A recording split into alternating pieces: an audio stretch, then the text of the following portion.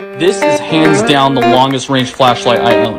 The Olight Javelot Turbo. This is on the low mode. And this is on the turbo mode. It's literally like having the sun in your pocket. Oh, and it comes with a sweet Pelican case.